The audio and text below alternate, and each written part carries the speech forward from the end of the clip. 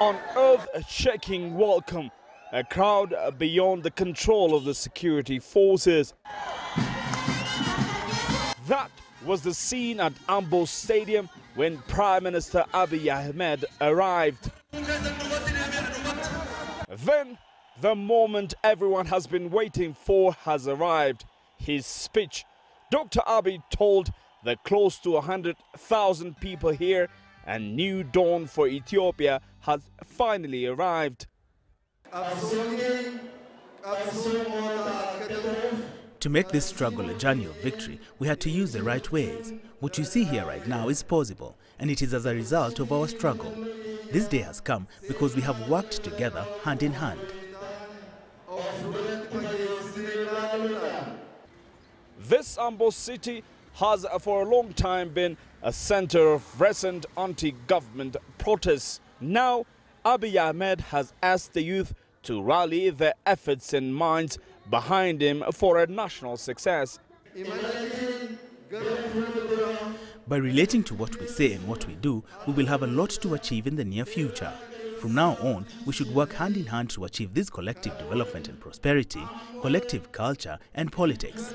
I would like to ask all of you to come and work with us in these endeavors.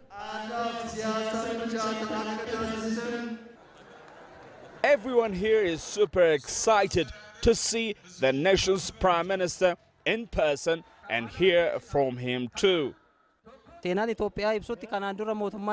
In the Ethiopian history, no leader of the country at any time has come to visit Ambo and its surroundings. I am very excited that it has finally happened.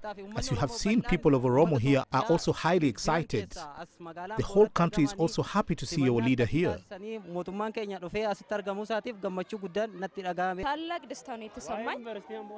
I felt really overwhelmed in my age. Dr. Abiy is the first leader who visited my hometown. This has given me a big hope. We are proud of him. The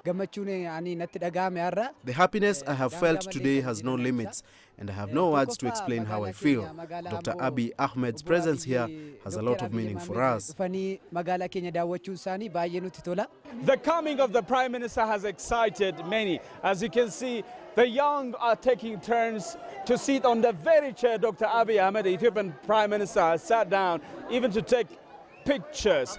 This is a sign of pride for them, a sign of uh, togetherness, and above all, this is a sign of hope that the future will be brighter for these young people of Ethiopia. Girum Chala CGTN, Ambo, Ethiopia.